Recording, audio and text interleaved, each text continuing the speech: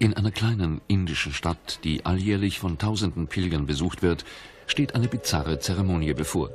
Anlässlich hoher religiöser Feiertage unterziehen sich Gläubige einem Ritual, das an mittelalterliche Foltermethoden erinnert. Die heiligen Männer, die sich dafür zur Verfügung stellen, behaupten, ihr Glaube könne den Schmerz besiegen.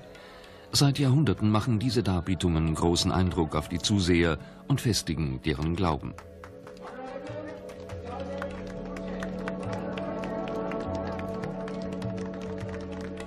Doch diese Demonstration ist anders. Die Zuseher sind keine Pilger und der Freiwillige ist kein heiliger Mann, sondern ein einheimischer Student. Er nimmt an einem Feldzug gegen den Aberglauben teil. Sein Ziel ist zu beweisen, dass jeder mit einem Haken im Rücken fliegen kann und dass alle übernatürlichen Kräfte, die der Religion zugeschrieben werden, wissenschaftlich erklärt werden können.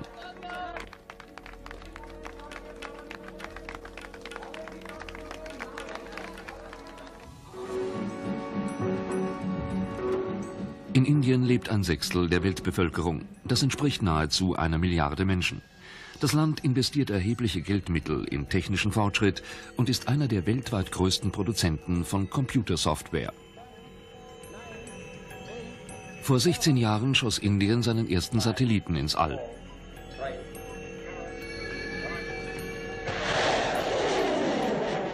Doch das Durchschnittseinkommen liegt noch immer bei rund 14 Schilling pro Tag und die Hälfte der Bevölkerung besteht aus Analphabeten. Schulbildung kann den Aberglauben nicht verdrängen. Die meisten Einheimischen vertrauen mehr auf die Zaubertricks der Gurus als auf die Wissenschaft.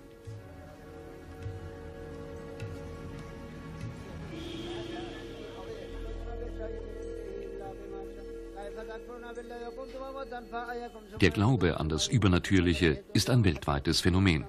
In Indien kommt ihm jedoch ein besonders hoher Stellenwert zu. Manche Gesellschaftsschichten nutzen den Aberglauben aus, um ihre Macht auszuweiten. Die Patienten dieses westbengalischen Fakirs glauben, dass sein durch Chemikalien entfachtes Feuer Krankheiten besiegen kann. Diese heilige Frau versetzt sich in Trance, behandelt Kranke und sagt auch die Zukunft voraus. Hunderte Gläubige pilgern zu ihrem kleinen Schrein und erzählen von ihren Beschwerden und Sorgen. Außerdem suchen sie Rat in Geschäfts- und Liebesangelegenheiten. Tricks helfen allerdings nicht nur beim Ausbau persönlicher Macht, sondern auch beim Gewinn von Wählerstimmen. Dieser heilige Mann behauptet, vier Tage unter Wasser verbracht zu haben.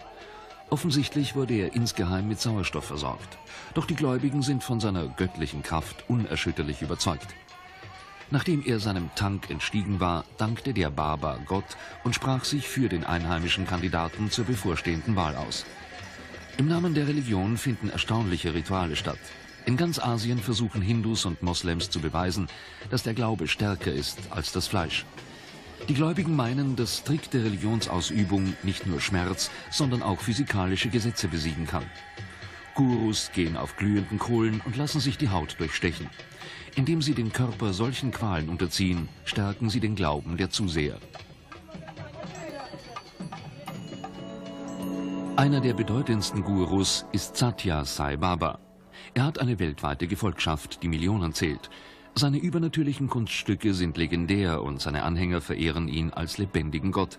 Während seiner täglichen Audienzen begeistert er die Menge, indem er heilige Asche herbeizaubert und sie dann über die Zuseher verstreut.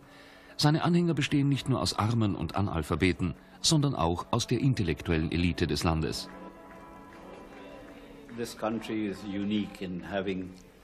Dieses Land ist einzigartig, weil es über zumindest 400 bis 500 Männer und Frauen verfügt, die nicht nur behaupten, übernatürliche Kräfte zu haben, sondern sich auch als Götter bezeichnen. Die Leute glauben ihnen und beten sie an. Ein Mann wie Sai Baba hat ein Gefolge, das in die Millionen geht. Darunter befinden sich auch hohe Beamte. Sehr häufig werden Entscheidungen, besonders wenn es um Ernennungen geht, in Konsultation mit den Gurus getroffen. Baba ist nur einer von ihnen. Es gibt noch viele andere. Manche haben nur lokalen Einfluss, doch Sai Baba ist von nationaler Bedeutung. T.N. Sechan bekleidete bis vor kurzem eine hohe Stellung im Wahlausschuss und war sogar selbst für das Präsidentenamt im Gespräch. Er ist einer von Sai Babas prominentesten Anhängern. Als ich vorige Woche zu Sai Baba ging, zauberte er diesen Ring für mich aus dem Nichts hervor. Er ist mit neun Edelsteinen besetzt. Darunter befinden sich ein Rubin, eine Perle, ein Saphir, ein Smaragd und ein Diamant. Gott weiß was noch. Der Ring hatte sich plötzlich materialisiert.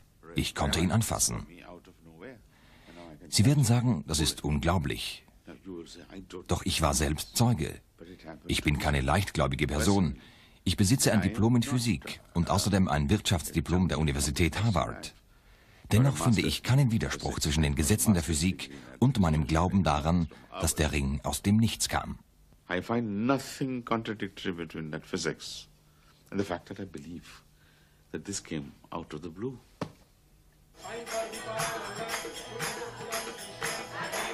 Auch die Wissenschaftler tun wenig, um den Aberglauben zu bekämpfen. In diesem Sai Baba-Schrein in Bangalore, dem indischen Zentrum für Wissenschaft und Technologie, versammeln sich Professoren sämtlicher Forschungsinstitute. Experten für Luftfahrt oder Geologie beten zu einem Mann, dem sie übernatürliche Kräfte zuschreiben.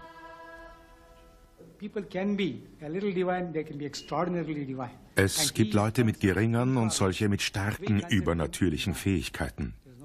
Sai Baba verfügt über solche Kräfte. Wir betrachten ihn als Gott, das steht außer Frage. Da ich Wissenschaftler bin, glaubte ich ursprünglich auch nicht an Sai Baba. Doch heute ist mein Vertrauen in ihn unerschütterlich. Ich war selbst Augenzeuge von Wundern, die er wirkte. Sehen Sie den Ring, den ich trage?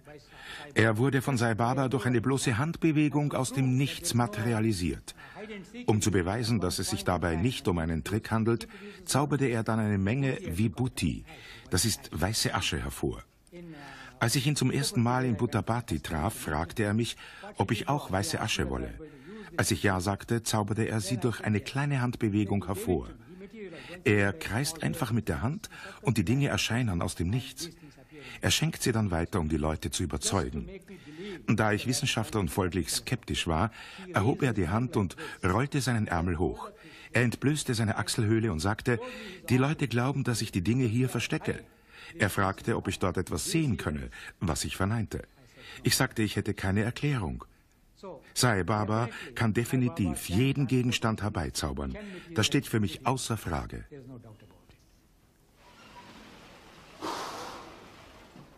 Der Glaube an die Kräfte des Gurus mag den Wissenschaftler gegenüber anderen Erklärungen für diese übernatürlichen Phänomene blind gemacht haben. P.C. Sarkar ist Indiens bedeutendster Zauberkünstler. Er findet nichts Außergewöhnliches daran, wenn ein Ring scheinbar aus dem Nichts erscheint. Es handelt sich dabei um einen Trick. Wir nennen ihn den Handschlitten. Sehen Sie, ich nehme diesen Finger und zaubere einen Ring hervor. Wenn ich ihn dann in der Hand halte, gebe ich ihn weiter. Doch er könnte auch von hier kommen. Dinge aus dem Nichts hervorzuzaubern, hat nichts mit Magie zu tun.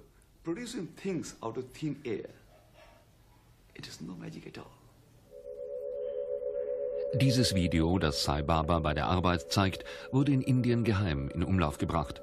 Darauf ist zu erkennen, dass sich der Gottesmann eines Zaubertricks bedient, um für einen wichtigen Besucher ein goldenes Halsband zu materialisieren. Unmittelbar bevor er eine Auszeichnung übergibt, scheinen seine Finger unterhalb der Holzkassette etwas zu suchen. Dann zieht er seine Hand zurück, beschreibt mit ihr einen Kreis und das Halsband erscheint wie aus dem Nichts. Dem Ereignis wohnte der ehemalige indische Premierminister bei und es wurde vom staatlichen indischen Fernsehen aufgezeichnet. Doch nachdem ein Redakteur auf den Trick aufmerksam machte, wurde das Material nicht gesendet.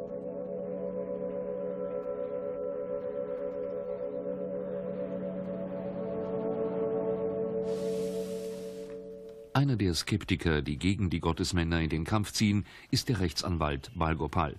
Er zeigte Sai Baba privat an, denn der Guru umgeht nicht nur die Regeln der Physik, sondern angeblich auch die Gesetze für den Goldimport.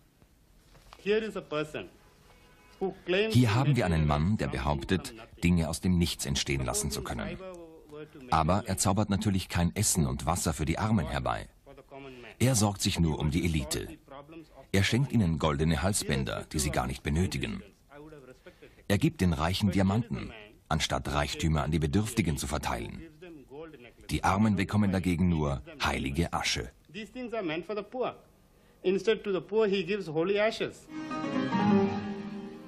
Die Skeptiker sind nicht nur über den politischen Einfluss der Gurus besorgt, sie befürchten auch, dass die Gottesmänner die Gesundheit und sogar das Leben der Gläubigen gefährden könnten.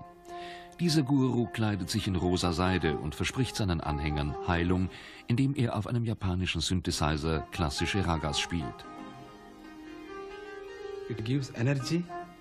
Also die Musik verleiht Energie, Ruhe und heilt. Zur Diagnose von Krebs, Herzkrankheiten und AIDS benutzt er Kristalle, die, so sagt er, nur für ihn sichtbare Strahlen abgeben. Die Kristalle teilen ihm mit, woran ein Patient leidet.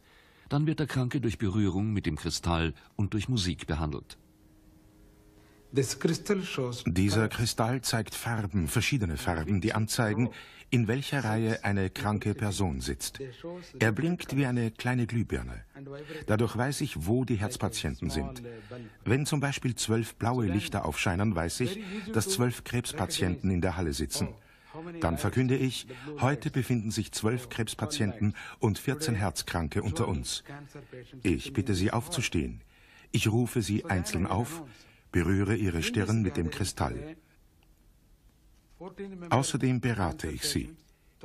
Ich sage Ihnen beispielsweise, dass Sie den Arzt wechseln sollen, dass Sie eine Medizin weiterhin einnehmen können oder dass eine falsche Diagnose gestellt wurde. Ich bitte Sie, näher zu kommen und lasse Sie eine halbe Stunde lang der Musik zuhören. Abschließend bekommen Sie dann heilende Steine. And Swami is recommending this particular raga in this moment. You can listen half an hour, and then Swami is giving some healing stones also. Prompt überraschte Swami die Filmcrew, indem er aus dem Boden seines Lieblingskristalles ein Schmuckstück hervorzauberte. This for you. Das ist für Sie.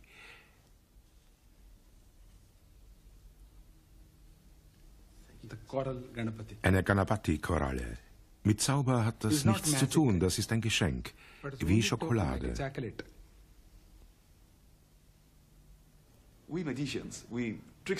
Wir Zauberkünstler, Illusionäre, Magier, Manipulateure tun solche Dinge immer wieder als Teil unseres Jobs.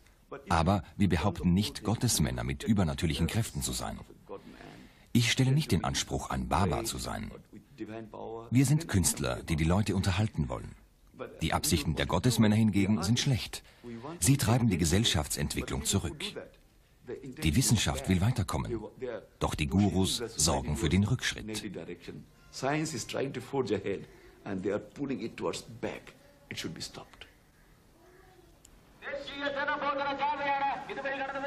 Diese kleine Gruppe will genau das verhindern.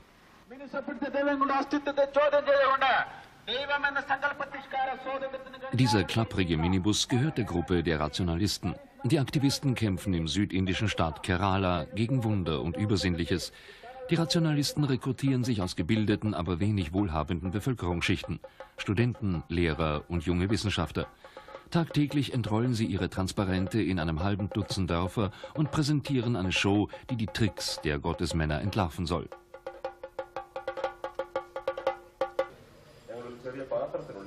Leiter der Gruppe ist der Journalist Sanal Edamaraku. Zu Beginn seiner Informationsveranstaltung zeigt er Fotos von prominenten Politikern in Gesellschaft eines Gurus. Dieser Guru landete im Gefängnis, weil er einen Prostitutionsring betrieb. Danach führt er Sai Babas Trick mit der heiligen Asche vor. Unmengen der heiligen Substanz kommen zum Vorschein. In Wirklichkeit handelt es sich um komprimierte Asche, die er unter der Handfläche versteckt. Der Betrugsvorwurf gegen einen verehrten Gottesmann provoziert die Gläubigen. Sie wollen das Beweismaterial selbst einer Prüfung unterziehen.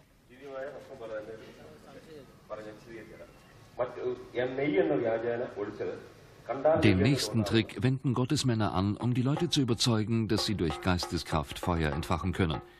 In Wirklichkeit handelt es sich um eine simple chemische Reaktion. Das Papier wurde mit Kaliumpermanganat behandelt. Wenn man Glycerin darüber gießt, geht es in Flammen auf.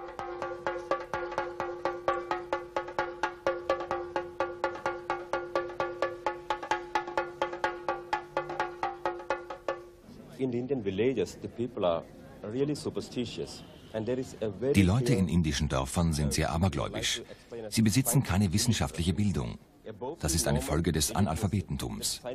Doch selbst in einer Gegend wie Kerala, wo nahezu die gesamte Bevölkerung schreiben kann, sind die Leute wissenschaftlich ungebildet.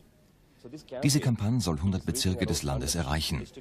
Wir wollen die Menschen direkt ansprechen und die sogenannten Wunder erklären. Dadurch bekämpfen wir den Aberglauben. Zu jeder unserer Demonstrationen erscheinen ca. 200 bis 500 Zuseher, die dann von unserer Tätigkeit berichten. So erreichen wir die Menschen schnell. Rationalisten wenden sich nicht gegen die Religion, sondern gegen den Aberglauben. Doch in Indien ist das schwer voneinander zu trennen. Hier geschieht ein alltägliches Wunder, das ständig in Tempeln und bei Zeremonien vorgeführt wird.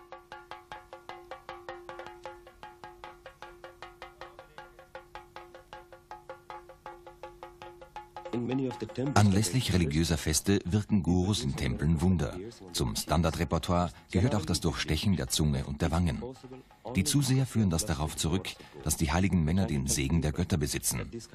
Wir versuchen den Leuten zu erklären, dass dieser Aberglaube auf das 18. Jahrhundert zurückgeht. Wir müssen ihnen ständig vor Augen halten, dass es sich bei all diesen Dingen einfach um billige Tricks handelt.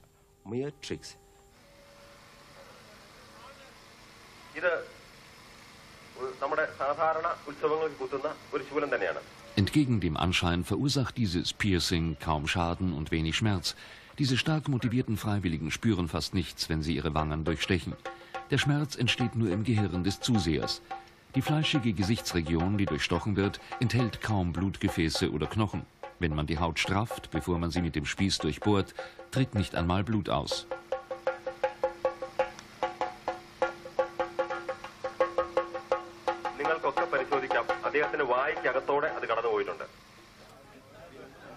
Auch Feuerschlucken ist viel ungefährlicher, als es aussieht.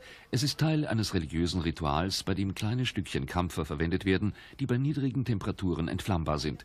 Die Unterseite der Kampferstückchen bleibt allerdings kühl und verbrennt nicht. Wenn man den Mund schließt, wird die Flamme von im Atem enthaltenem Kohlendioxid schnell gelöscht. Von den Rationalisten ermutigt, unternimmt ein Zuseher selbst einen Versuch.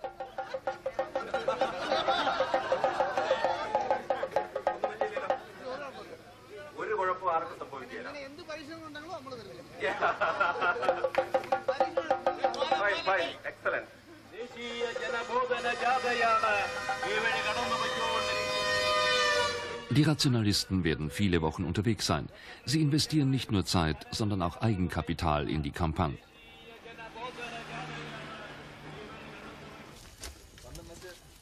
Auch der Gang über glühende Kohlen darf bei keinem religiösen Fest fehlen. Den Teilnehmern wird eingeredet, dass ihr Glaube jegliches Schmerzempfinden verhindert. Die Rationalisten vertrauen jedoch lieber der Physik als der Religion. Die dicke Hornhaut der Fußsohlen ist ein schlechter Wärmeleiter, ebenso wie die Asche an der Oberseite der Kohlen. Wenn man in Bewegung bleibt, hat die Glut keine Chance, die Haut zu verbrennen. Es tut überhaupt nicht weh. Jeder, der den Mut hat, es zu versuchen, wird das bestätigen. Dadurch stellen wir die Wundermänner, die Gottesmänner und die Gurus bloß. Natürlich versuchen sie, unsere Vorführungen zu sabotieren. Sie streuen beispielsweise Zucker ins Feuer, der schmilzt und dann an den Fußsohlen festklebt. Dann sagen sie, das ist die göttliche Rache der Gurus, weil wir sie herausfordern. Wir müssen genau darauf achten, dass keine Glassplitter oder Zucker ins Feuer gestreut werden. Now we are very careful that they don't put either broken glasses or sugar into the fire. Glassplitter und Zucker sind allerdings nicht die unerbittlichsten Widersacher der Rationalisten. Ihr Feldzug gegen die Gottesmänner hat gerade erst begonnen. Zahllose Konflikte stehen noch bevor.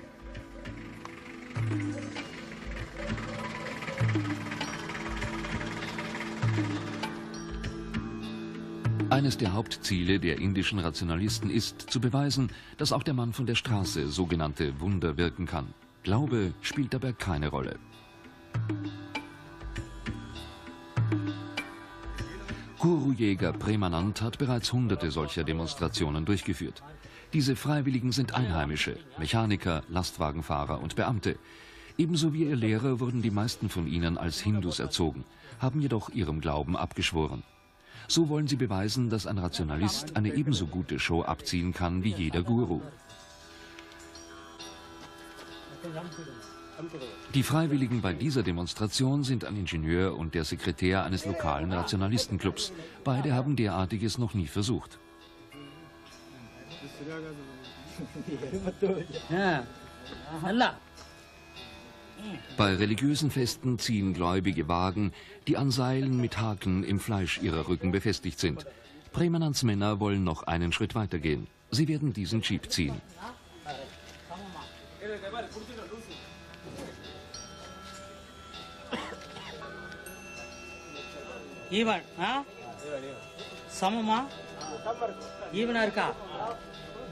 Es ist völlig schmerzlos. Schmerzlos? Absolut schmerzlos.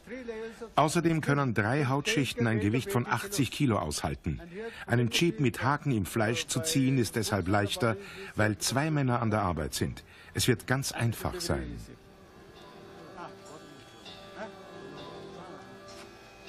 கடவுள் இல்லை கடவுள் இல்லை வெந்தாடி வேந்தன் கடவுள் இல்லை கடவுள் இல்லை கடவுள் இல்லவே இல்லை கடவுள் தந்தை Periyar die Freiwilligen rufen zur Motivation den Namen des örtlichen Leiters der Rationalisten und setzen den Jeep in Bewegung. Sie beweisen die Stärke und Elastizität ihrer Haut. Dabei geht es um die menschliche Physiologie. Mit Glaube hat es nichts zu tun.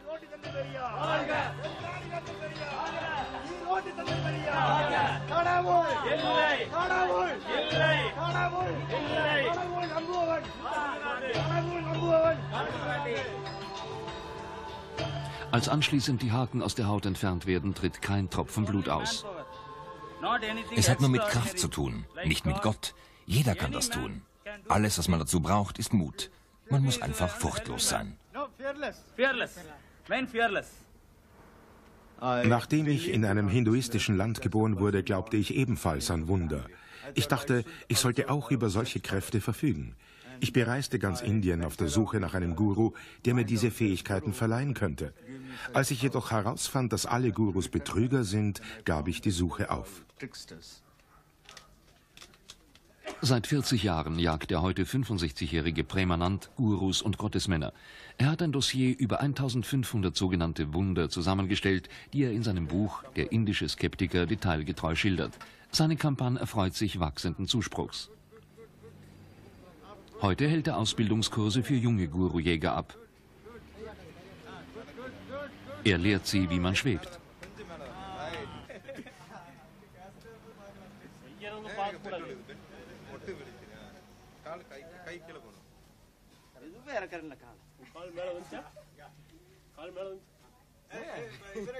Nach einer sicheren Landung enthüllt Premanand das übernatürliche Geheimnis. What is the hidden thing? Was versteckt ein Guru? Diese Stelzen. Er erhebt sich auf den Stelzen und die Leute glauben, es sind seine Füße. Dann hebt er den Kopf und alle glauben, er schwebt. Danach lässt er sich wieder herunter und fällt in Trance.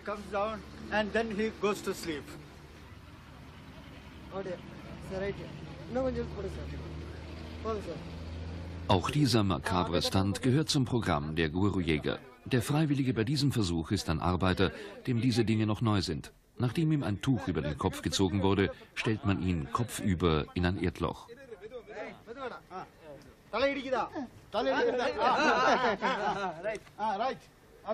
ಮಣ್ಣೆಲ್ಲ ಮಣ್ಣೆಲ್ಲ ಕೊಟ್ಟು ಅಲ್ಲ ಮುಟ್ಟಿರ್ತಾರಾ Danach wird das Loch mit Sand gefüllt, bis sein Kopf völlig begraben ist. Doch der Mann erstickt nicht. Der Sand ist trocken und lässt ausreichend Luft zum Atmen durch. ஐயோ over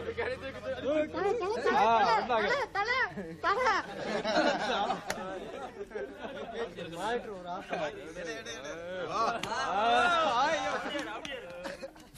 Seit 50 Jahren bin ich auf der Suche nach einem Wunder. Mein größter Ehrgeiz ist, bevor ich sterbe, noch ein Wunder zu erleben. Wenn irgendjemand von einem Wunder hört, dann soll er es mich wissen lassen. Wir werden dann an den Ort fahren und überprüfen, ob es sich wirklich um eines handelt. Wenn dem so ist, dann kann ich in Frieden sterben, weil ich wenigstens ein Wunder erlebt habe. Wunder gehören zu den Hauptstützen aller Religionen. Sie sind leichter verständlich als theologische Theorien. Indem sie alles Übernatürliche als Betrug entlarven, erschüttern Rationalisten die Grundfesten des Glaubens in Indien. Woran also glauben die Rationalisten selbst?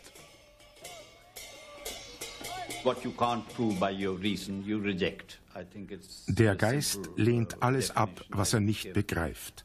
So einfach würde ich das definieren. Ich kann die Existenz Gottes nicht beweisen, also lehne ich Gott ab oder lasse die Frage offen. Ich kann auch die Zukunft nicht vorhersagen. Ich weiß nicht, was mit mir passieren wird, wenn ich tot bin. Also lehne ich alle Theorien über das jüngste Gericht und über die Wiedergeburt ab. Der Rationalismus ist meine Religion.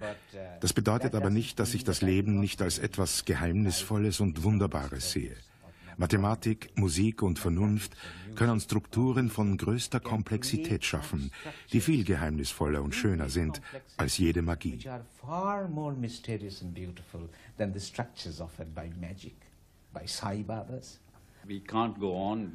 Wir dürfen uns einfach nicht mehr zurückentwickeln.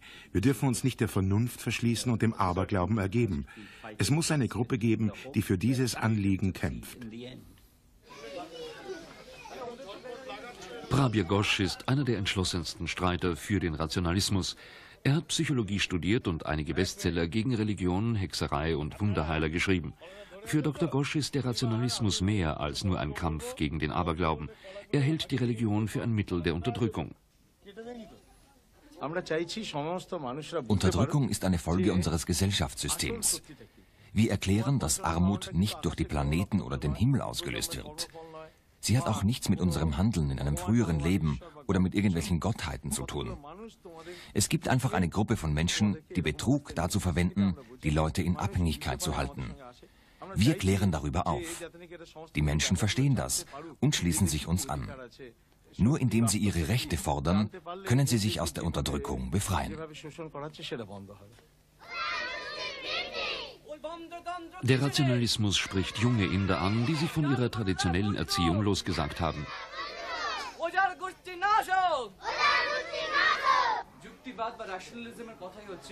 Die Rationalisten Kalkuttas distanzieren sich von politischen Parteien, die sie für korrupt halten. Doch es ist unschwer zu erkennen, dass ihre Ideologie linksorientiert ist.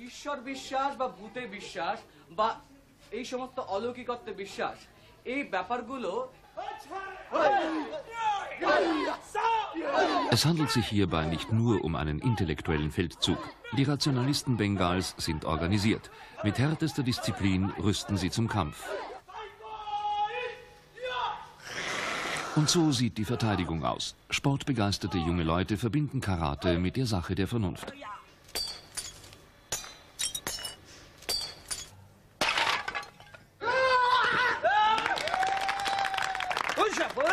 Das Training dient nicht nur Showzwecken. Prabir Ghosh hat die Vorteile der Selbstverteidigung kennengelernt. Wir werden oft von Gottesmännern körperlich angegriffen.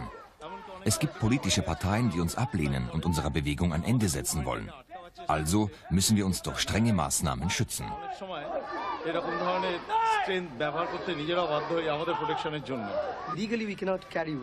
Im Gegensatz zu Menschen in manchen westlichen Ländern ist uns das Tragen von Waffen untersagt. Wir müssen uns mit bloßen Händen schützen. Dazu eignet sich Karate am besten.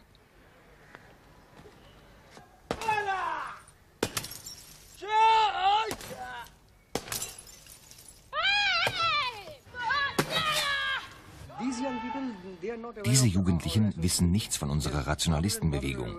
Ihre Eltern dagegen schon.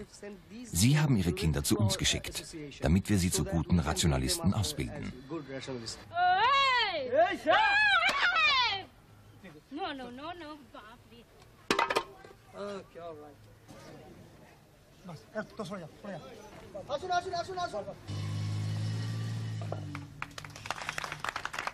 Wären diese jungen Leute Gurus, dann hielte man ihre Kräfte für übernatürlich.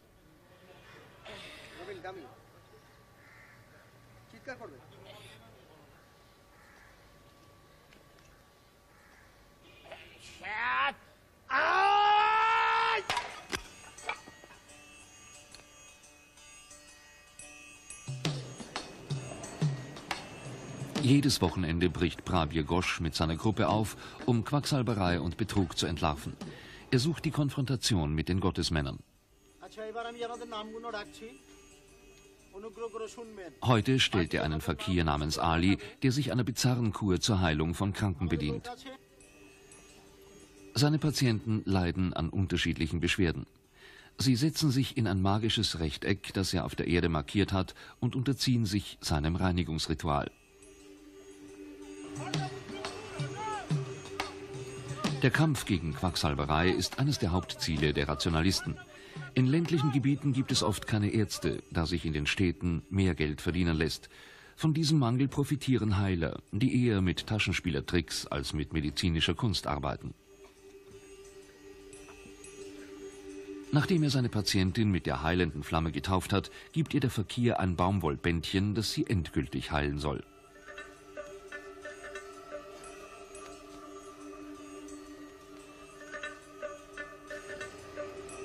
Die Rationalisten entlarven diese Wunderheiler als Betrüger, die Unwissenheit und Armut ausnützen.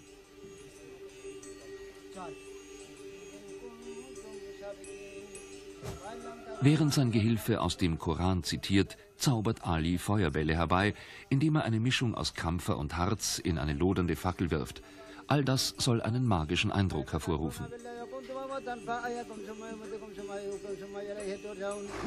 Die Rationalisten konfrontieren diesen Fakir nicht zum ersten Mal.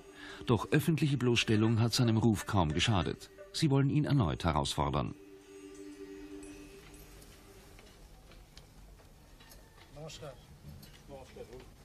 Warum seid ihr hier? Ich habe gehört, dass hier etwas los ist. Ich will nur zusehen. Ich sage kein Wort. Der Fakir legt größten Wert auf die Einhaltung seines Rituals. Zusehern ist es verboten, das magische Rechteck zu betreten. Außerdem müssen sie ihre Hände dicht an ihrem Körper halten, damit der Zauber seine Wirkung nicht verfehlt.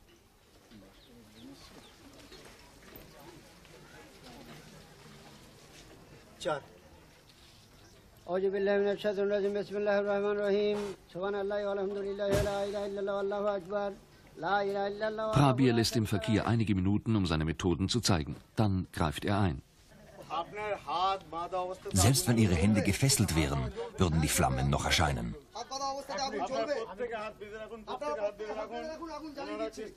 Verschränkt alle eure Finger. Wir werden beweisen, dass die Flammen trotzdem erscheinen. Sehen wir, was dein Allah für mich tut. Seht ihr, alles Tricks. Das kann jeder tun. Es ist Betrug.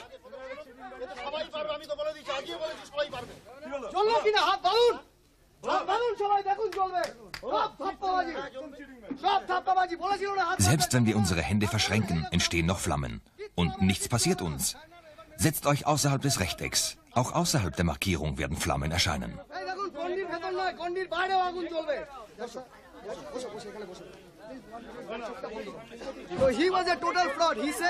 Der Fakir behauptet, dass außerhalb des Rechtecks keine Flammen entstehen können. Doch wir waren außerhalb des Vierecks, haben unsere Finger verschränkt und trotzdem entstanden Feuerbälle. Es ist völlig egal, ob man innerhalb oder außerhalb des Vierecks steht. Feuerbälle entstehen überall.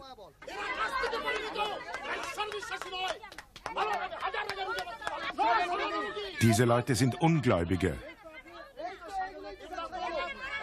Deine Patienten sind Betrüger mit erfundenen Krankheiten. Nichts ist erfunden.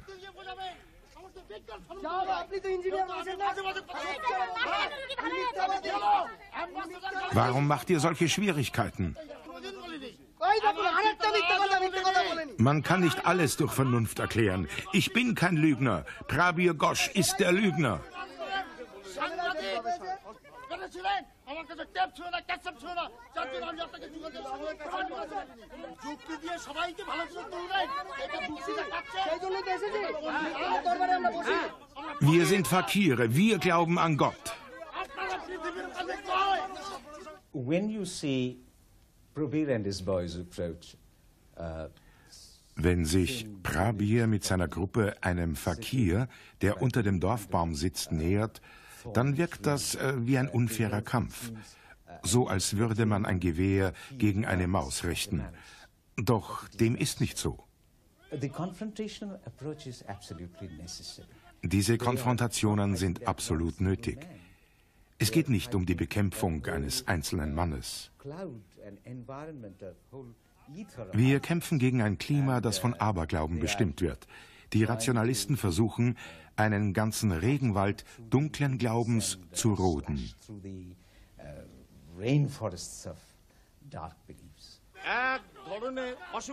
Es gibt Krankheiten, die man psychosomatisch nennt.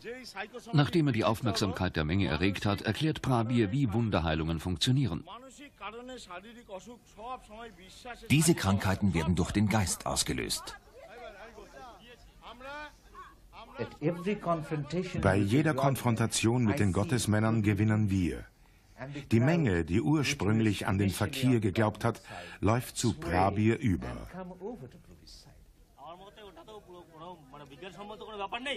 Dieser Fakir ist ein Betrüger. Für nichts, was er tut, gibt es eine wissenschaftliche Grundlage. Totally false and fraud. Es mag den Rationalisten zwar gelungen sein, einige der Einheimischen zu überzeugen, doch der Fakir denkt nicht daran aufzugeben. Die wollen nicht, dass Leuten geholfen wird. Denen werde ich es zeigen. Die halten sich wohl für sehr klug.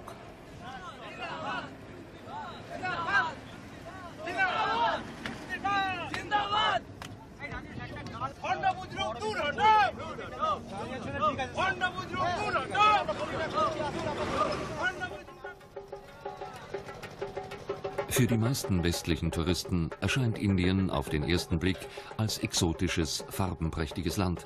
Doch die soziale und wirtschaftliche Not ist unübersehbar.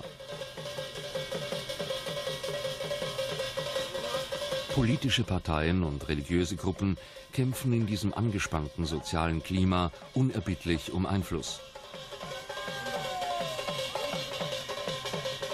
Es gibt zwar das Grundrecht auf Schulbildung, doch arme Familien müssen ihre Kinder stattdessen arbeiten schicken.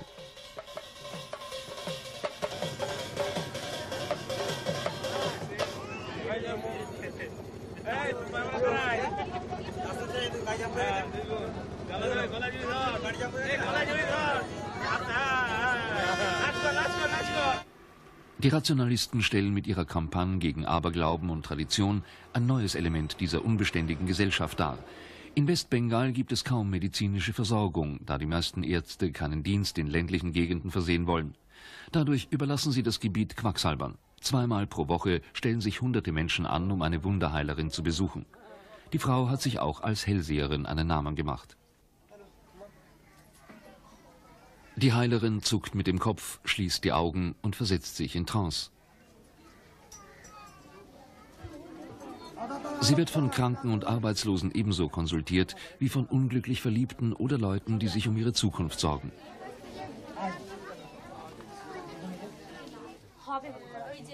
Sie murmelt zuerst sich selbst und dann ihren Patienten etwas zu. Die Kranken werden behandelt, indem sie ihnen die Hände auflegt und dann auf ihren Kopf bläst. Jeder Besucher hinterlässt ein paar Münzen oder Banknoten. Obwohl sie keine fixen Honorarforderungen stellt, beträgt die Summe der wöchentlichen Spenden mehr als das Gehalt eines jungen Arztes. Da die Prophetin angeblich vom Geist Gottes erfüllt sein soll, spenden die Menschen gerne. Jeder der Patienten wird eine Minute lang behandelt, bevor er von ihrem Gehilfen eine Handvoll Blumen und ein Baumwollband für den Arm erhält. Sie darf den Talisman nicht an ihrem linken Arm tragen.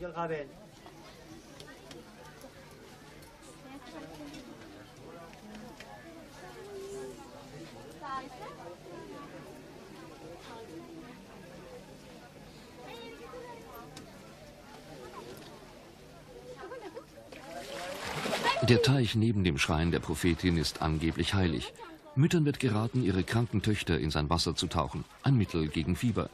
Außerdem wird Teichwasser abgefüllt. Die Flaschen werden von der Heilerin gesegnet, um das Wasser in Medizin zu verwandeln. Die Hellseherin stellt die nächste Zielscheibe der Rationalisten dar. Doch der heutige Besuch Prabirs dient nur Erkundungszwecken. Er gibt sich als Patient aus, der HIV-positiv ist.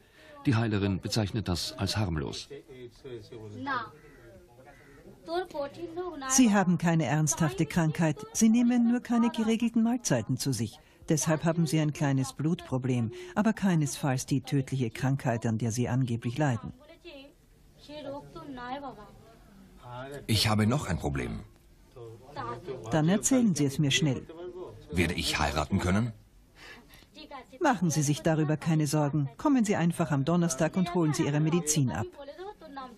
Obwohl ihre Methoden offensichtlich zweifelhaft sind, zieht die Wunderheilerin hunderte Patienten in ihren Bann.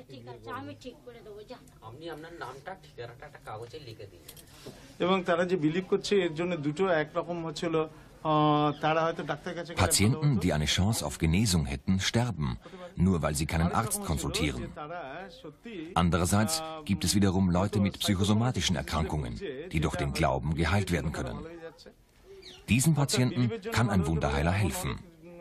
Sicher aber nicht solchen, die an rein körperlichen Leiden erkrankt sind. Faith healing হয় যেগুলো আহ, আমরা বলি placebo treatment অর্থাৎ বিশ্বাস অসুখ সেরে যায় Deshalb সেগুলো fordern wir অসুখ Heiler হয়। auf, zu এর beweisen, বাইরে কিছু না, কিন্তু dass sie jemanden heilen können, der nicht কখনো psychosomatisch ভালো করতে পারবে না। erkrankt আমরা ist. যখন বলছি যদি নাকি পাঁচজন রোগী এনে দেই পাঁচজন রোগী এনে দিলে এরা পাঁচজন রোগীকে ভালো করতে পারবে না যদি তারা সাইকোসোমেটিক ডিজিজ তাদের না থাকে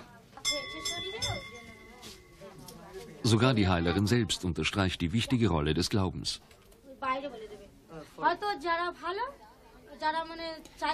Ich arbeite für Leute, die durch den Glauben geheilt werden wollen. Ungläubigen würde ich nicht helfen.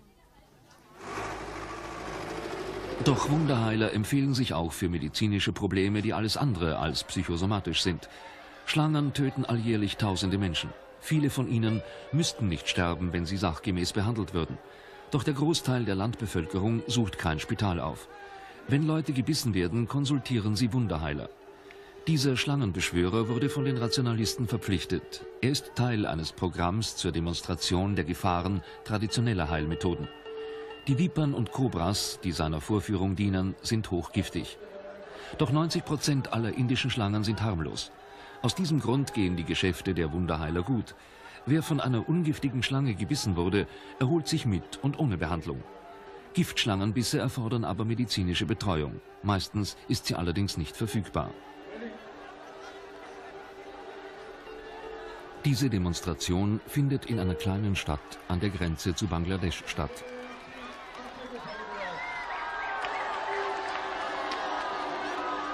Der Heiler hat die Herausforderung der Rationalisten angenommen. Sollte es ihm gelingen, die Folgen eines todbringenden Schlangenbisses abzuwenden, bekommt er 100.000 Rupien. Das entspricht ungefähr 32.000 Schilling. Die Herausforderung erhitzt die Gemüter. Tausende sind gekommen, um dem Schauspiel beizuwohnen. Für die Behandlung eines Schlangenbisses verrechnen Wunderheiler 3000 Rupien.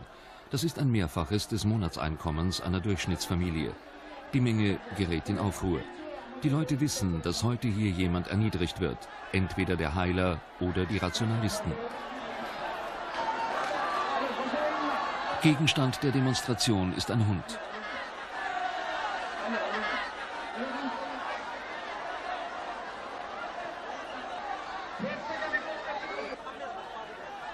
Ein Biss dieser Kobra kann Menschen binnen Stunden töten. Die Fähigkeiten des Heilers werden einer harten Probe unterzogen.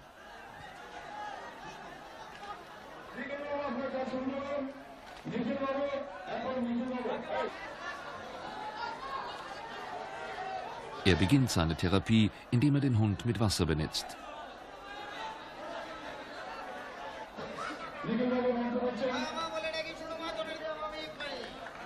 Dann versucht er, den giftigen Geist mit einem Tuch zu vertreiben.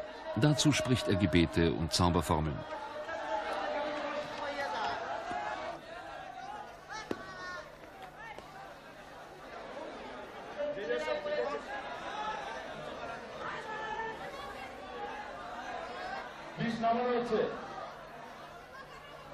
Minuten später. Der Heiler spricht noch immer Gebete.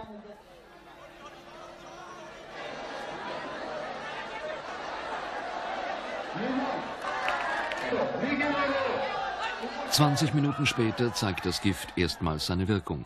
Der Hund verliert die Kontrolle über seine Gliedmaßen und der Heiler verzweifelt zunehmend.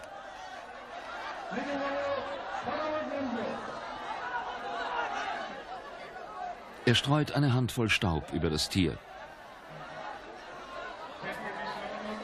Dann attackiert er den giftigen Geist mit einem Besen.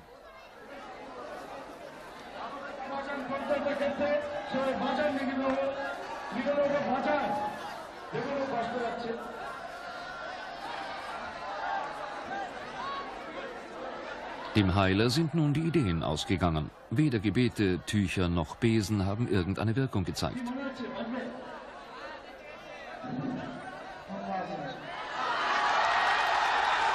Fünf Minuten später erklärt sich der Wunderheiler für geschlagen. Er stimmt einem öffentlichen Geständnis zu. Werden Sie sich an unsere Abmachung halten und eine Stellungnahme abgeben? Ich dachte, dass magische Rituale große Wahrheiten beinhalten. Nun weiß ich, dass die Zaubersprüche leere Worte sind.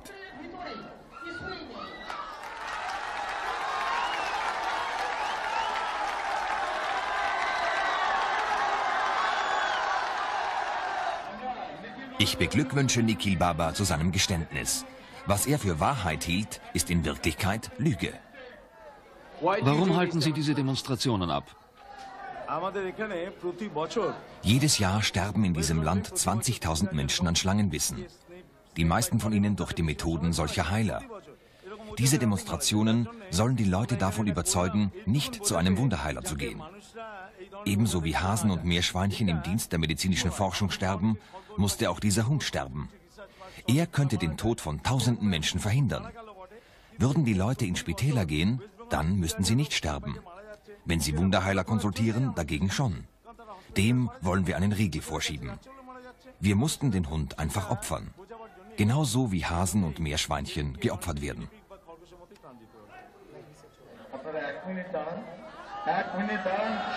Prabir bittet die Menge, eine Gedenkminute für den toten Hund einzulegen.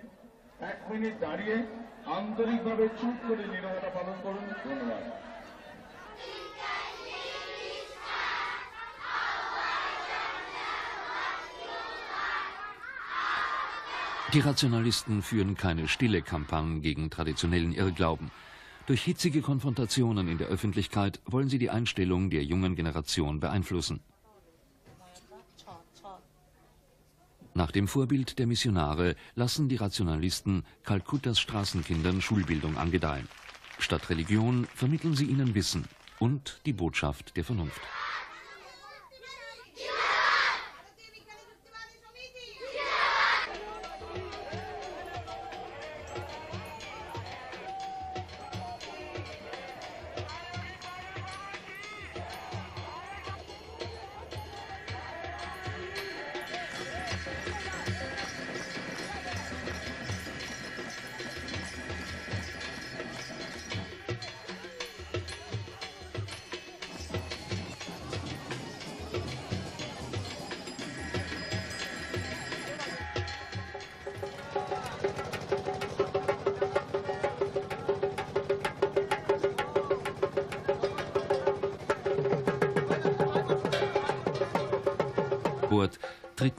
Blut aus.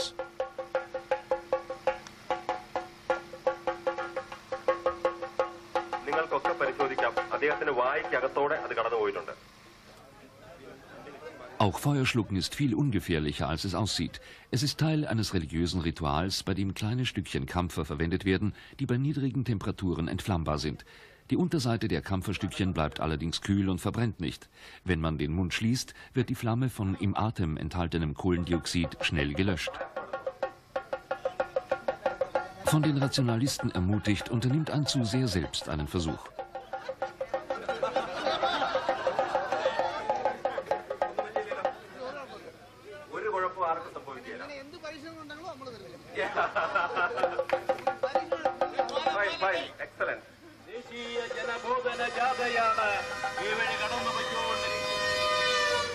Die Rationalisten werden viele Wochen unterwegs sein. Sie investieren nicht nur Zeit, sondern auch Eigenkapital in die Kampagne.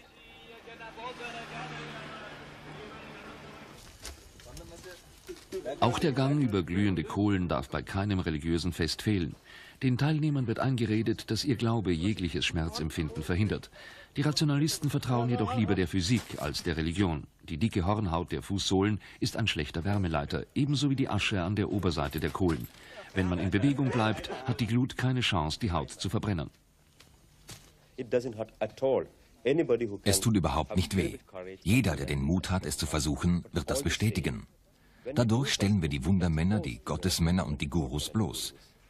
Natürlich versuchen sie, unsere Vorführungen zu sabotieren. Sie streuen beispielsweise Zucker ins Feuer, der schmilzt und dann an den Fußsohlen festklebt. Dann sagen sie, das ist die göttliche Rache der Gurus, weil wir sie herausfordern. Wir müssen genau darauf achten, dass keine Glassplitter oder Zucker ins Feuer gestreut werden. Now we are very careful that they don't put either broken glasses or sugar into the fire. Glassplitter und Zucker sind allerdings nicht die unerbittlichsten Widersacher der Rationalisten. Ihr Feldzug gegen die Gottesmänner hat gerade erst begonnen. Zahllose Konflikte stehen noch bevor.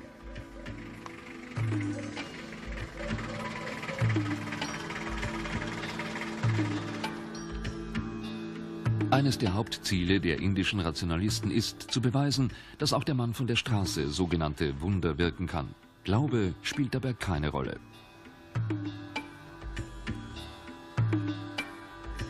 Gurujäger Premanand hat bereits hunderte solcher Demonstrationen durchgeführt.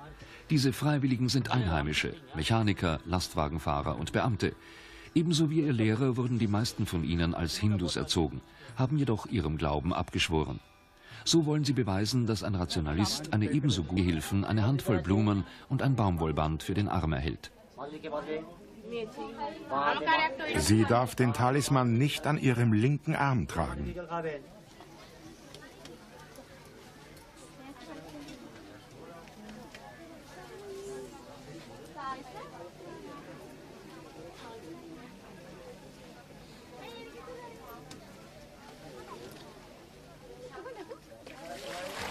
Der Teich neben dem Schrein der Prophetin ist angeblich heilig. Müttern wird geraten, ihre kranken Töchter in sein Wasser zu tauchen. Ein Mittel gegen Fieber. Außerdem wird Teichwasser abgefüllt.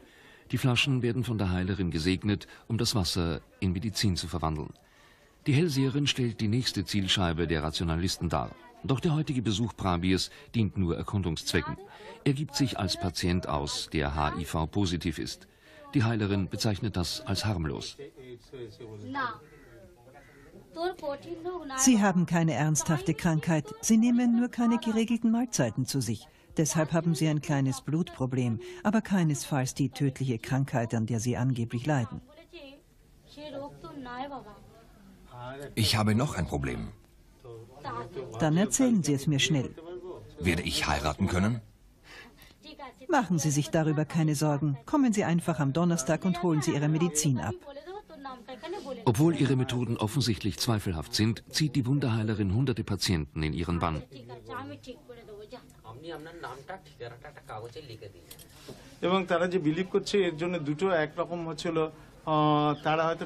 Patienten, die eine Chance auf Genesung hätten, sterben, nur weil sie keinen Arzt konsultieren. Andererseits gibt es wiederum Leute mit psychosomatischen Erkrankungen, die durch den Glauben geheilt werden können. Diesen Patienten kann ein Wunderheiler helfen. Sicher aber nicht solchen, die an rein körperlichen Leiden erkrankt sind. Faith healing হয় যেগুলো আহ, আমরা বলি placebo treatment অর্থাৎ বিশ্বাস অসুখ সেরে যায় Deshalb সেগুলো fordern wir অসুখ Heiler auf, zu beweisen, dass sie jemanden heilen können, der nicht কখনো psychosomatisch কখনো আমরা erkrankt ist. দেখুন বলছি যদি নাকি পাঁচজন রোগী এনে দেই পাঁচজন রোগী এনে দিলে এরা পাঁচজন রোগীকে ভালো করতে পারবে না যদি তারা সাইকোসোমেটিক ডিজিজ তাদের না থাকে Sogar die Heilerin selbst unterstreicht die wichtige Rolle des Glaubens.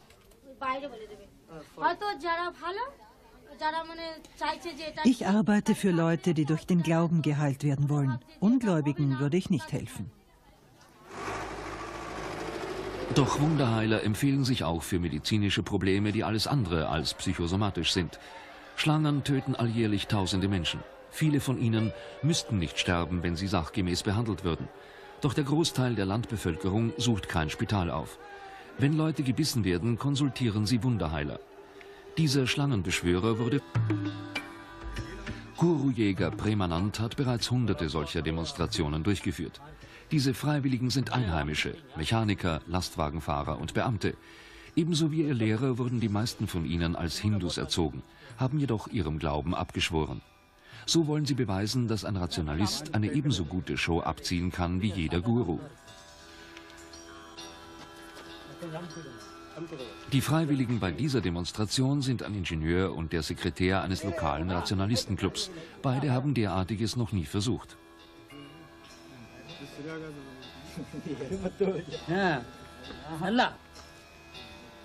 Bei religiösen Festen ziehen Gläubige Wagen, die an Seilen mit Haken im Fleisch ihrer Rücken befestigt sind.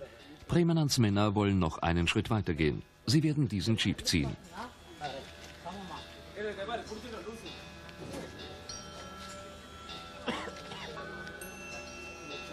Even ஆ சமமா ஈவனா இருக்கா Es ist völlig schmerzlos. Schmerzlos? Absolut schmerzlos. Außerdem können drei Hautschichten ein Gewicht von 80 Kilo aushalten. Einen Jeep mit Haken im Fleisch zu ziehen ist deshalb leichter, weil zwei Männer an der Arbeit sind. Es wird ganz einfach sein.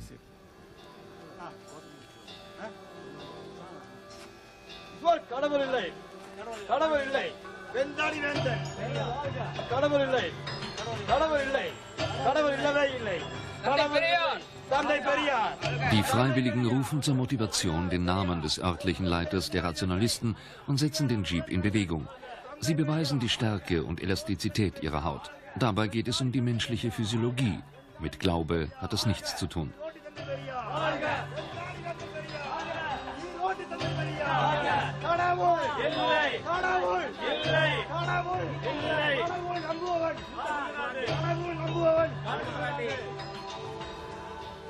Als anschließend die Haken aus der Haut entfernt werden, tritt kein Tropfen Blut aus. Es hat nur mit Kraft zu tun, nicht mit Gott. Jeder kann das tun. Alles, was man dazu braucht, ist Mut. Man muss einfach furchtlos sein. Nachdem ich in einem hinduistischen Land geboren wurde, glaubte ich ebenfalls an Wunder. Ich dachte, ich sollte auch über solche Kräfte verfügen. Ich bereiste ganz Indien auf der Suche nach einem Guru, der mir diese Fähigkeiten verleihen könnte. Als ich jedoch herausfand, dass alle Gurus Betrüger sind, gab ich die Suche auf. Seit 40 Jahren jagt der heute 65-jährige Premanand Gurus und Gottesmänner. Er hat ein Dossier über 1500 sogenannte Wunder zusammengestellt, die er in seinem Buch Der indische Skeptiker detailgetreu schildert. Benutzt er Kristalle, die, so sagt er, nur für ihn sichtbare Strahlen abgeben. Die Kristalle teilen ihm mit, woran ein Patient leidet. Dann wird der Kranke durch Berührung mit dem Kristall und durch Musik behandelt. Dieser Kristall zeigt Farben, verschiedene Farben, die anzeigen, in welcher Reihe eine kranke Person sitzt. Er blinkt wie eine kleine Glühbirne. Dadurch weiß ich, wo die Herzpatienten sind. Wenn zum Beispiel zwölf blaue Lichter aufscheinen, weiß ich, dass zwölf Krebspatienten in der Halle sitzen. Dann verkünde ich, heute befinden sich zwölf Krebspatienten und 14 Herzkranke unter uns. Ich bitte Sie aufzustehen. Ich rufe Sie einzeln auf, berühre ihre Stirn mit dem Kristall. Außerdem berate ich sie. Ich sage ihnen beispielsweise, dass sie den Arzt wechseln sollen, dass sie eine Medizin weiterhin einnehmen können oder dass eine falsche Diagnose gestellt wurde. Ich bitte sie näher zu kommen und lasse sie eine halbe Stunde lang der Musik zuhören. Abschließend bekommen sie dann heilende Steine. And Swami is recommending this particular raga in this moment. You can listen half an hour, and then Swami is giving some healing stones also. Prompt überraschte Swami die Filmcrew, indem er aus dem Boden seines Lieblingskristalles ein Schmuckstück hervorzauberte. This for you. Das ist für Sie.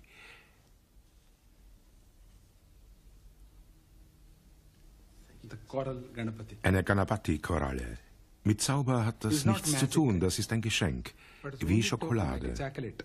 We magicians, we tricksters, Wir Zauberkünstler, Illusionäre, Magier, Manipulateure tun solche Dinge immer wieder als Teil unseres Jobs. Aber wir behaupten nicht, Gottesmänner mit übernatürlichen Kräften zu sein. Ich stelle nicht den Anspruch an, Baba zu sein. Wir sind Künstler, die die Leute unterhalten wollen. Die Absichten der Gottesmänner hingegen sind schlecht. Sie treiben die Gesellschaftsentwicklung zurück. Die Wissenschaft will weiterkommen, doch die Gurus sorgen für den Rückschritt. Science is trying to forge ahead and they are pulling it towards back. It should be stopped. Diese kleine Gruppe will genau das verhindern.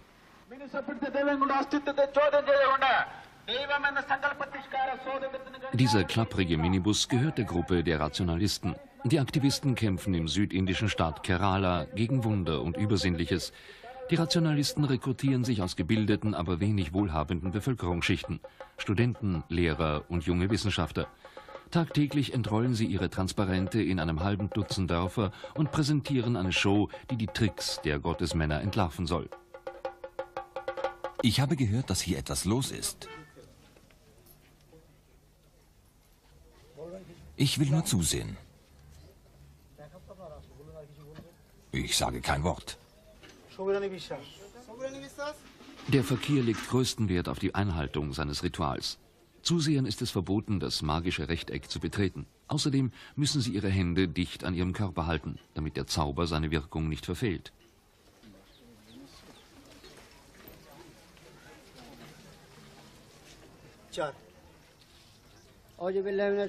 Bismillahirrahmanirrahim. Subhanallah, alhamdulillah, la ilaha illallah, Allahu akbar. Prabir lässt im Verkehr einige Minuten, um seine Methoden zu zeigen. Dann greift er ein. Selbst wenn ihre Hände gefesselt wären, würden die Flammen noch erscheinen.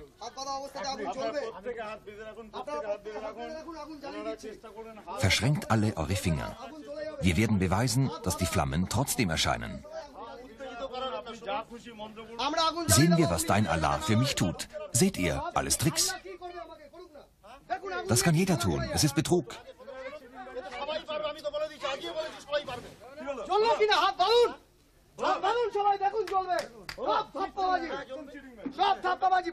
Selbst wenn wir unsere Hände verschränken, entstehen noch Flammen. Und nichts passiert uns. Setzt euch außerhalb des Rechtecks. Auch außerhalb der Markierung werden Flammen erscheinen.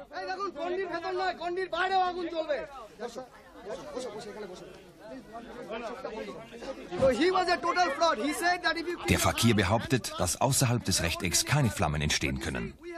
Doch wir waren außerhalb des Vierecks, haben unsere Finger verschränkt und trotzdem entstanden Feuerbälle. Es ist völlig egal, ob man innerhalb oder außerhalb des Vierecks steht. Feuerbälle entstehen überall.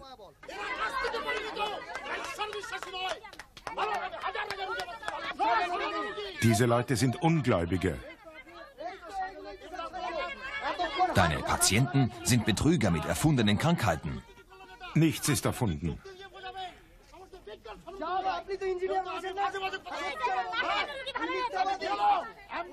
Warum macht ihr solche Schwierigkeiten?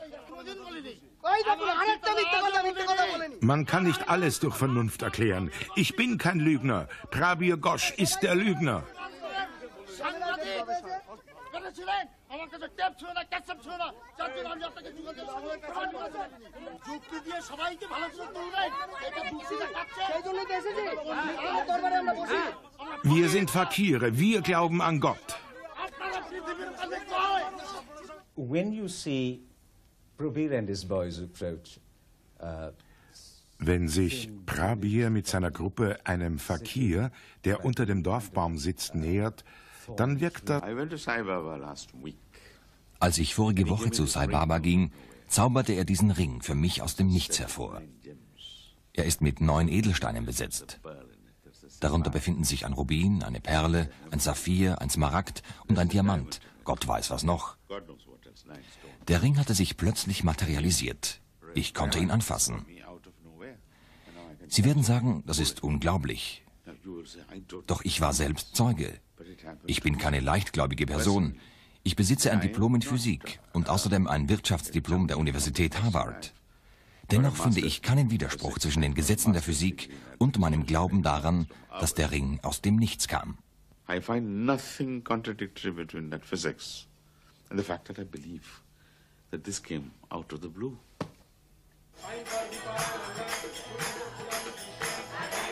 Auch die Wissenschaftler tun wenig, um den Aberglauben zu bekämpfen.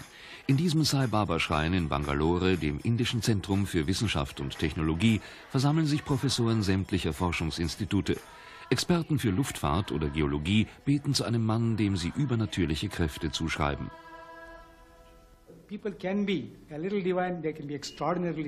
Es gibt Leute mit geringeren und solche mit starken übernatürlichen Fähigkeiten. Sai Baba verfügt über solche Kräfte. Wir betrachten ihn als Gott, das steht außer Frage. Da ich Wissenschaftler bin, glaubte ich ursprünglich auch nicht an Sai Baba. Doch heute ist mein Vertrauen in ihn unerschütterlich. Ich war selbst Augenzeuge von Wundern, die er wirkte. Sehen Sie den Ring, den ich trage? Er wurde von Sai Baba durch eine bloße Handbewegung aus dem Nichts materialisiert. Um zu beweisen, dass es sich dabei nicht um einen Trick handelt, zauberte er dann eine Menge Vibhuti, das ist weiße Asche, hervor. Als ich ihn zum ersten Mal in Buttabati traf, fragte er mich, ob ich auch weiße Asche wolle. Als ich Ja sagte, zauberte er sie durch eine kleine Handbewegung hervor. Er kreist einfach mit der Hand und die Dinge erscheinen aus dem Nichts. Er schenkt sie dann weiter, um die Leute zu überzeugen. Da ich Wissenschaftler und folglich skeptisch war, erhob er die Hand und rollte seinen Ärmel hoch. Er entblößte seine Achselhöhle und sagte, die Leute glauben, dass ich die Dinge hier verstecke. Er fragte, ob ich dort etwas sehen könne, was ich verneinte. Ich sagte, ich hätte keine Erklärung. Sai Baba kann definitiv jeden Gegenstand herbeizaubern. Das steht für mich außer Frage.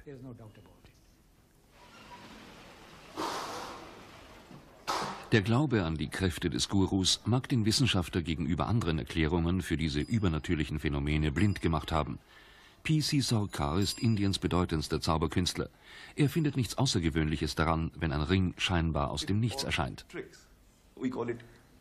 Es handelt sich dabei um einen Trick. Wir nennen ihn. Deshalb haben sie ein kleines Blutproblem, aber keinesfalls die tödliche Krankheit, an der sie angeblich leiden. Ich habe noch ein Problem.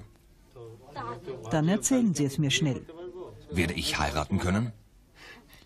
Machen Sie sich darüber keine Sorgen. Kommen Sie einfach am Donnerstag und holen Sie Ihre Medizin ab. Obwohl ihre Methoden offensichtlich zweifelhaft sind, zieht die Wunderheilerin hunderte Patienten in ihren Bann.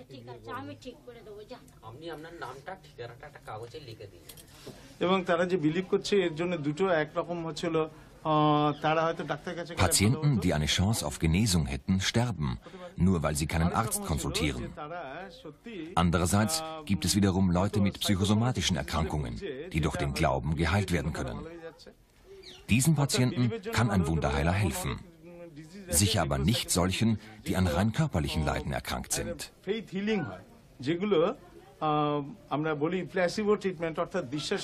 Deshalb fordern wir Heiler auf, zu beweisen, dass sie jemanden heilen können, der nicht psychosomatisch erkrankt ist.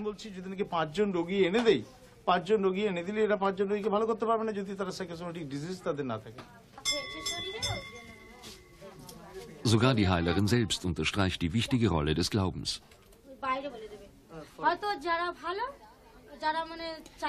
Ich arbeite für Leute, die durch den Glauben geheilt werden wollen. Ungläubigen würde ich nicht helfen. Doch Wunderheiler empfehlen sich auch für medizinische Probleme, die alles andere als psychosomatisch sind. Schlangen töten alljährlich tausende Menschen. Viele von ihnen müssten nicht sterben, wenn sie sachgemäß behandelt würden. Doch der Großteil der Landbevölkerung sucht kein Spital auf. Wenn Leute gebissen werden, konsultieren sie Wunderheiler. Dieser Schlangenbeschwörer wurde von den Rationalisten verpflichtet. Er ist Teil eines Programms zur Demonstration der Gefahren traditioneller Heilmethoden. Die Vipern und Kobras, die seiner Vorführung dienen, sind hochgiftig.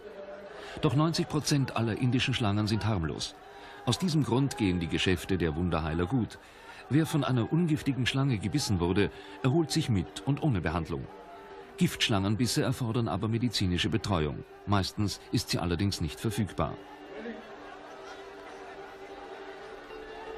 Diese Demonstration findet in einer kleinen Stadt an der Grenze zu Bangladesch statt.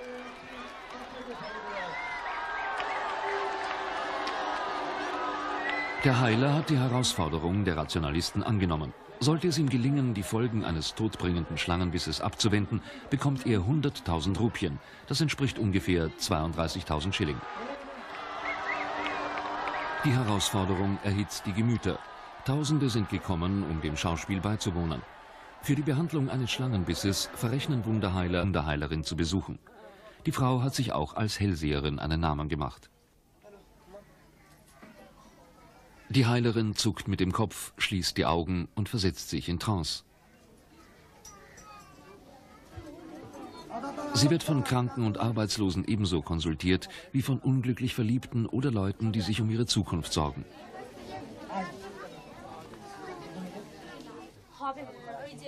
Sie murmelt zuerst sich selbst und dann ihren Patienten etwas zu. Die Kranken werden behandelt, indem sie ihnen die Hände auflegt und dann auf ihren Kopf bläst. Jeder Besucher hinterlässt ein paar Münzen oder Banknoten. Obwohl sie keine fixen Honorarforderungen stellt, beträgt die Summe der wöchentlichen Spenden mehr als das Gehalt eines jungen Arztes. Da die Prophetin angeblich vom Geist Gottes erfüllt sein soll, spenden die Menschen gerne.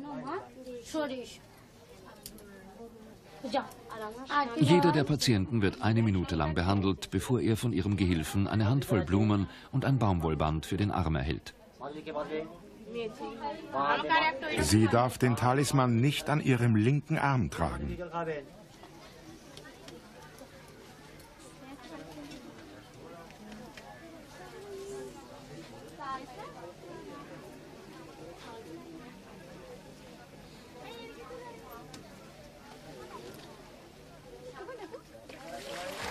Der Teich neben dem Schrein der Prophetin ist angeblich heilig. Müttern wird geraten, ihre kranken Töchter in sein Wasser zu tauchen. Ein Mittel gegen Fieber. Außerdem wird Teichwasser abgefüllt. Die Flaschen werden von der Heilerin gesegnet, um das Wasser in Medizin zu verwandeln.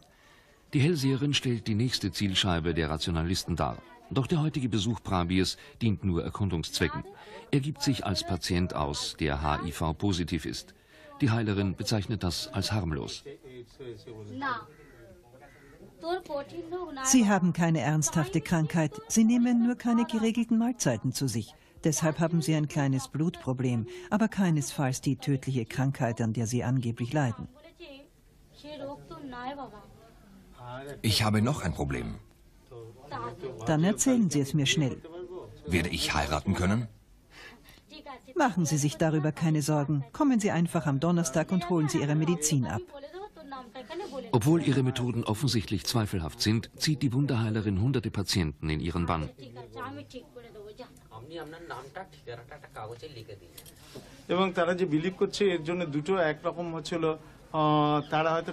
Patienten, die eine Chance auf Genesung hätten, sterben, nur weil sie keinen Arzt konsultieren. Andererseits gibt es wiederum Leute mit psychosomatischen Erkrankungen, die durch den Glauben geheilt werden können. Diesen Patienten kann ein Wunderheiler helfen. Sicher aber nicht solchen, die an rein körperlichen Gottesmänner an, um die Leute zu überzeugen, dass sie durch Geisteskraft Feuer entfachen können. In Wirklichkeit handelt es sich um eine simple chemische Reaktion. Das Papier wurde mit Kaliumpermanganat behandelt. Wenn man Glycerin darüber gießt, geht es in Flammen auf.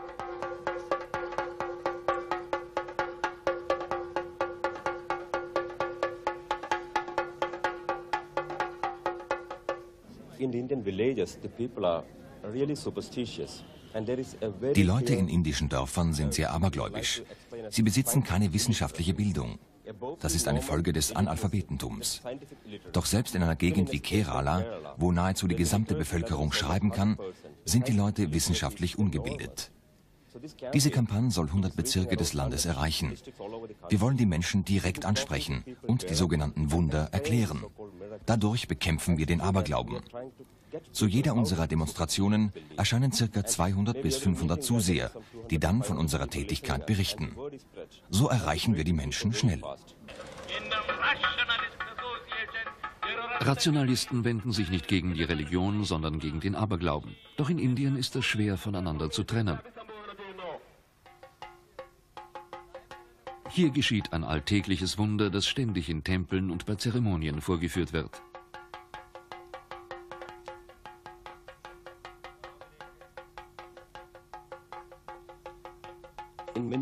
Anlässlich religiöser Feste wirken Gurus in Tempeln Wunder.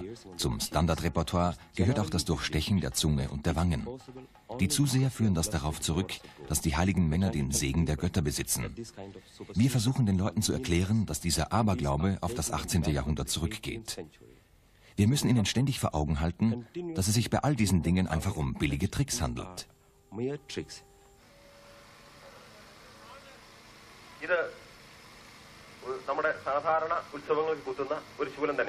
Entgegen dem Anschein verursacht dieses Piercing kaum Schaden und wenig Schmerz.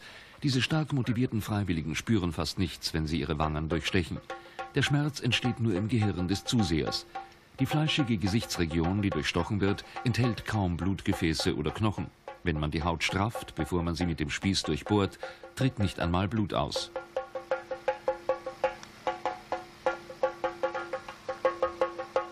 നിങ്ങൾക്കൊക്കെ പരിശോധിക്കാം അദ്ദേഹത്തിന്റെ വായിക്കകത്തോടെ അത് കടന്നു പോയിട്ടുണ്ട് Auch Feuerschlucken ist viel ungefährlicher, als es aussieht. Es ist Teil eines religiösen Rituals, bei dem kleine Stückchen Kampfer verwendet werden, die bei niedrigen Temperaturen entflammbar sind. Die Unterseite der Kampferstückchen bleibt allerdings kühl und verbrennt nicht. Wenn man den Mund schließt, wird die Flamme von im Atem enthaltenem Kohlendioxid schnell gelöscht. Von den Rationalisten ermutigt ihm jedoch ein besonders hoher Stellenwert zu. Manche Gesellschaftsschichten nutzen den Aberglauben aus, um ihre Macht auszuweiten. Die Patienten dieses westbengalischen Fakirs glauben, dass sein durch Chemikalien entfachtes Feuer Krankheiten besiegen kann. Diese heilige Frau versetzt sich in Trance, behandelt Kranke und sagt auch die Zukunft voraus. Hunderte Gläubige pilgern zu ihrem kleinen Schrein und erzählen von ihren Beschwerden und Sorgen. Außerdem suchen sie Rat in Geschäfts- und Liebesangelegenheiten. Tricks helfen allerdings nicht nur beim Ausbau persönlicher Macht, sondern auch beim Gewinn von Wählerstimmen. Dieser heilige Mann behauptet, vier Tage unter Wasser verbracht zu haben. Offensichtlich wurde er insgeheim mit Sauerstoff versorgt. Doch die Gläubigen sind von seiner göttlichen Kraft unerschütterlich überzeugt. Nachdem er seinem Tank entstiegen war, dankte der Barber Gott und sprach sich für den einheimischen Kandidaten zur bevorstehenden Wahl aus. Im Namen der Religion finden erstaunliche Rituale statt. In ganz Asien versuchen Hindus und Moslems zu beweisen, dass der Glaube stärker ist als das Fleisch. Die Gläubigen meinen, dass strikte Religionsausübung nicht nur Schmerz, sondern auch physikalische Gesetze besiegen kann. Gurus gehen auf glühenden Kohlen und lassen sich die Haut durchstechen. Indem sie den Körper solchen Qualen unterziehen, stärken sie den Glauben der Zuseher. Einer der bedeutendsten Gurus ist Satya Sai Baba. Er hat eine weltweite Gefolgschaft, die Millionen zählt. Seine übernatürlichen Kunststücke sind legendär und seine Anhänger verehren ihn als lebendigen Gott. Während seiner täglichen Audienzen begeistert er die Menge, indem er heilige Asche herbeizaubert und sie dann über die Zuseher verstreut. Seine Anhänger bestehen nicht nur aus Armen und Analphabeten, sondern auch aus der intellektuellen Elite des Landes.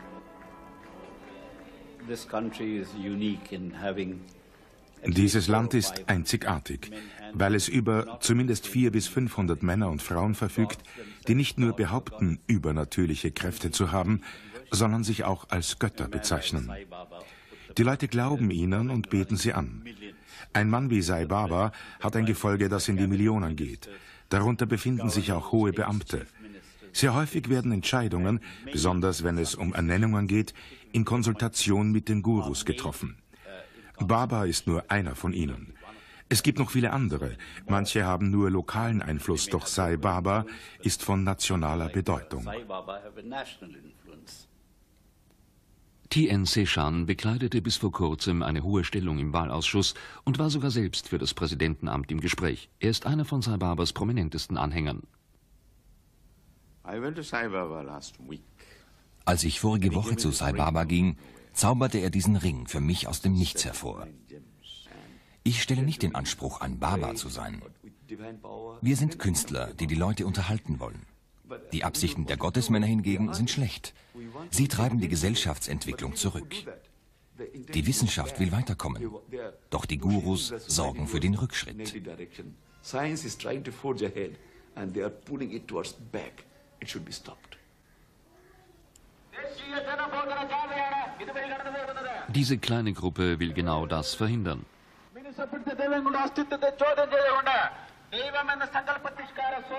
Dieser klapprige Minibus gehört der Gruppe der Rationalisten. Die Aktivisten kämpfen im südindischen Staat Kerala gegen Wunder und Übersinnliches.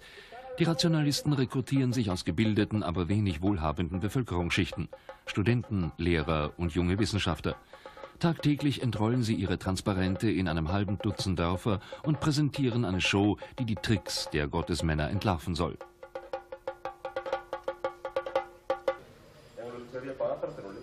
Leiter der Gruppe ist der Journalist Sanal Edamaraku. Zu Beginn seiner Informationsveranstaltung zeigt er Fotos von prominenten Politikern in Gesellschaft eines Gurus. Dieser Guru landete im Gefängnis, weil er einen Prostitutionsring betrieb. Danach führt er Sai Babas Trick mit der heiligen Asche vor. Unmengen der heiligen Substanz kommen zum Vorschein. In Wirklichkeit handelt es sich um komprimierte Asche, die er unter der Handfläche versteckt.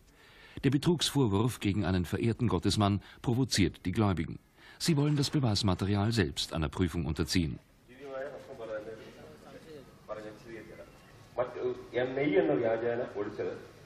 Den nächsten Trick wenden Gottesmänner an, um die Leute zu überzeugen, dass sie durch Geisteskraft Feuer entfachen können. In Wirklichkeit handelt es sich um eine simple chemische Reaktion. Das Papier wurde mit Kaliumpermanganat behandelt. Wenn man Glycerin darüber gießt, geht es in Flammen auf.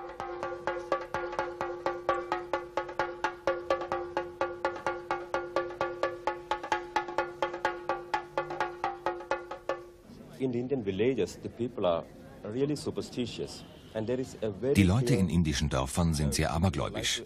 Sie besitzen keine wissenschaftliche Bildung. Das ist eine Folge des Analphabetentums. Doch selbst in einer Gegend wie Kerala, wo nahezu die gesamte Bevölkerung schreiben kann, sind die Leute wissenschaftlich ungebildet.